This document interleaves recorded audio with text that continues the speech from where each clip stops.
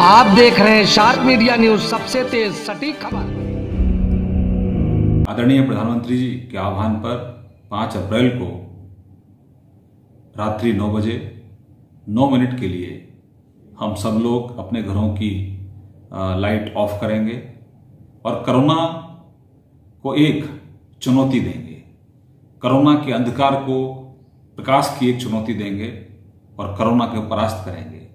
तो मेरा आह्वान है सभी प्रदेशवासियों से, ब्रजवासियों से कि आदरणीय प्रधानमंत्री जी के आह्वान पर हम पाँच अप्रैल को रात्रि नौ बजे, नौ मिनट के लिए अपने घरों की जो लाइट है उसको ऑफ़ करें और कैंडल, दीपक, टॉर्च या मोबाइल की बैटरी से हम लोग प्रकाश करें और कोरोना का जो अंधकार है उसको प्रकाश की चुनौती देकर उसको परास्त करें।